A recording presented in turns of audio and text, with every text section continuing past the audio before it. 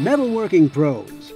Now you can get double cut shear performance in a turbo shear, drill attachment, or air tool. The versatile model TSMD turbo shear drill attachment fits a corded or cordless drill you already own. And a 360 degree rotating collar on the shear's clamp can be set in any direction for optimum work clearance and material flow.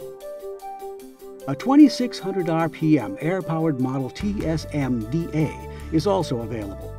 This unit is compatible with your existing shop air supply and offers maximum power and cutting speed in a double cut style shear. The blades of Malco double cut turbo shears remove a narrow spiral scrap from the tool path to produce a clean, straight edge on both sides of the cut. These blades can approach a cut from either end to produce a quality workpiece edge.